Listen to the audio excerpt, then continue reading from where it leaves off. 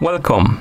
In front of me I have a Google Pixel Watch and I'm gonna show you how to set up the alarm clock on this device. First we need to wake up the screen on our watch. You can do it by tapping on the screen or by pressing the crown button. After you wake up the screen, press the crown button again to open the menu. Now scroll through the menu and find the alarm option. Then tap on it to open the alarm menu and here we can uh, set up the alarm clock. Basically, if you don't have any alarm clocks set up, you will see this add new alarm button. Tap on it. Now we can set the time on which the alarm should go off and you can set the hours, then minutes, like this. And once you're done, tap on the check mark and the alarm will be added to the list. And now you can see it right here.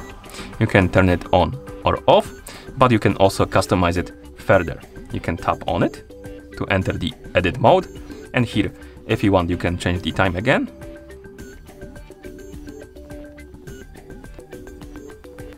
You can scroll down and here you have option called one time.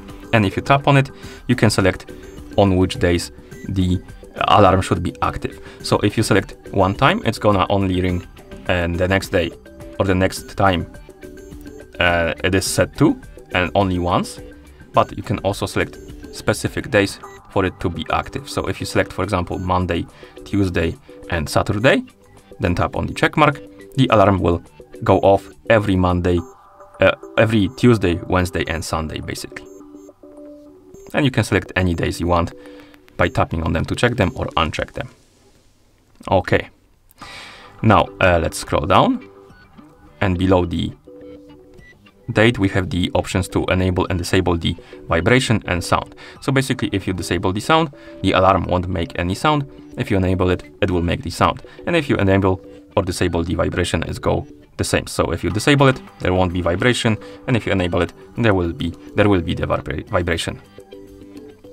And once one last thing you can do with the alarm is to scroll all the way down, and you can remove it by tapping on the bin icon. So if you tap on it, the alarm should be removed.